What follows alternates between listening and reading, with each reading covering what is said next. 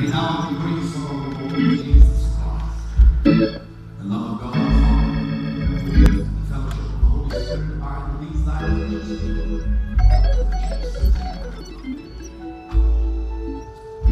We'll see you tonight.